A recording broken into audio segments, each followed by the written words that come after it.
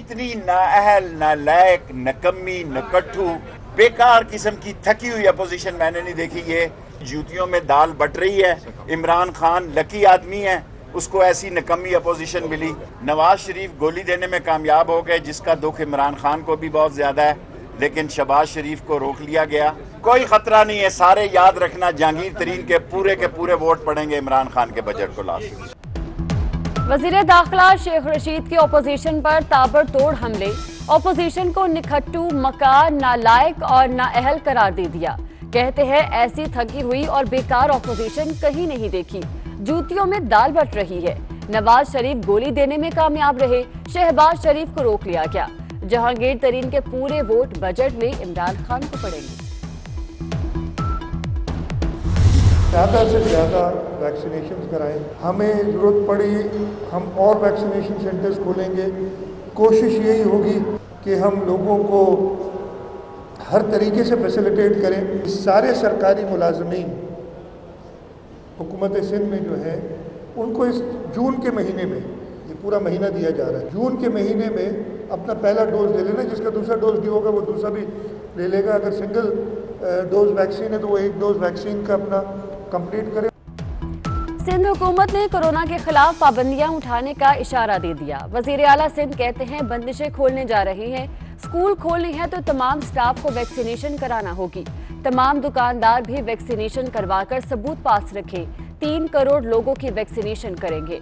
वज़ीर आला ने एक्सपो सेंटर के हॉल नंबर तीन का इफ्तः भी किया।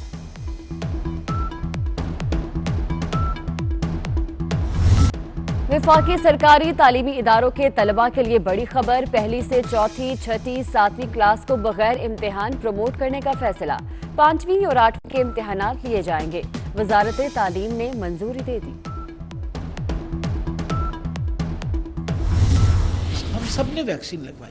मैंने भी वैक्सीन लगवाई है। डॉक्टर असद ने अब ये सारे जितने लाइन में बैठे हुए हैं, हम सबने वैक्सीन लगवाई है। आप लोगों ने वैक्सीन लगवाई है। दुनिया में बहुत बड़ी तादाद लोगों की वैक्सीन लगवा चुकी है। ऐसा कोई नुकसान नहीं हो रहा और ना कोई ऐसी बात है अफवाहों पे आपने बिल्कुल नहीं जाना। इनका हमें बहुत नुकसान होता है। लोगों की तादाद जिनको वैक्सीनेट हमने करना है, इस साल के आखिर तक वो तकरीबन सात करोड़ है।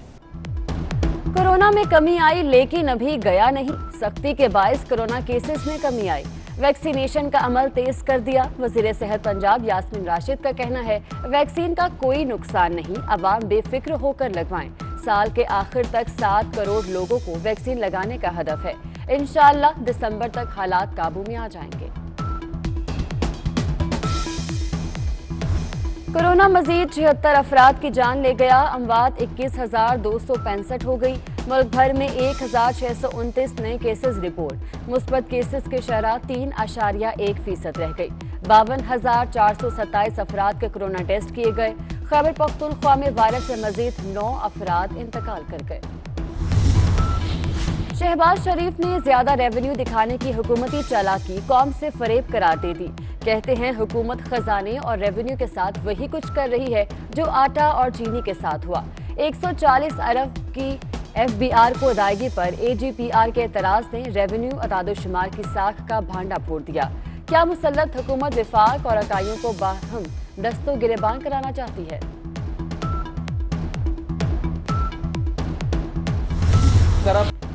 कौम को झूठी तसलियाँ देकर हुक्मरान अपनी नाकामियों पर पर्दा नहीं डाल सकते। ये नालायक और नाअहल हैं। लीगी रहनुमा एहसन इकबाल का कहना है, ये तीस साल भी बैठे रहे, तब भी कुछ नहीं होगा। कोरोना की इमदाद तक तो ये खा गए। खारजा पॉलिसी मज़ाक बन गई। कश्मीर भारत में हड़प कर लिया। नू लीग वाले मुल्क को डिफ़ॉल्ट पर छोड़कर गए। बिजली इस्तेमाल हो ना हो, साढ़े चौदह सौ अरब देना पड़ेंगे। आईपीपी के साथ दोबारा माहिदा करके 770 अरब रुपए बचाए। वज़ीर ममलिकत फारूक हबीब कहते हैं, मुल्क मीशत के तमाम अशारे मुस्बत हैं। तनख्वाहदार तबके पर कोई नया टैक्स लागू नहीं होगा रिलीफ फराहम करेंगे। सिंध हुकूमत का विफाक से अपने हिस्से का पानी देने पर ज़ोर। वज़ीर बल्दियात नासिर शाह कहते हैं, ना अहल विफाकी हुकूमत ने एक सूबे के लिए दूसरे सूबों के पानी में 35 फ़ीसद तक कमी कर दी। कई असला में पीने का पानी भी नायाब हो चुका। सिंध में किसान भी सरापा एहतजाज हैं। विफाक पानी की मसावी तकसीम करे।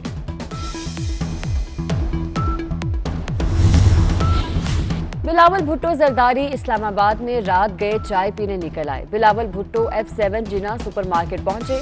पार्टी कारकुन के ढाबे पर चाय पी। अवाम की बड़ी तादाद भी बिलावल भुट्टो को देखने उमड़ आई। कमर जमान कायरा, राजा परवेज अशरफ भी बिलावल भुट्टो के हमरा मौजूद थे।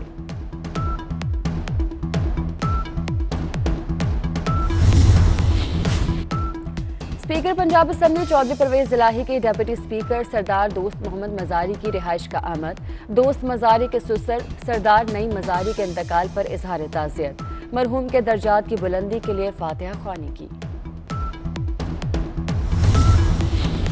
लाहौर के नौजवानों में स्केटिंग का खेल मकबूल होने लगा। ट्रैक न होने के बायस लिबर्टी और गुलबर्ग मेन बुलेवार्ड पर स्केटिंग। शहर में स्केटिंग के लिए ट्रैक का मुतालबा।